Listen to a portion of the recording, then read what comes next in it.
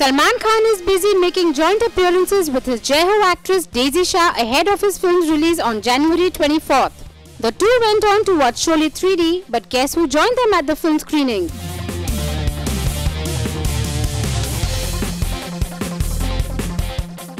Giving a huge surprise to the paparazzi, Salman was joined in by his former lady love Sangeeta Bijlani. They parted long back, but Sangeeta Bijlani still remains close to Salman Khan and his family. Sangeeta is also a regular visitor at Salman's residence and is photographed every year at the family's Ganesh Chaturthi celebrations. Let's take a look.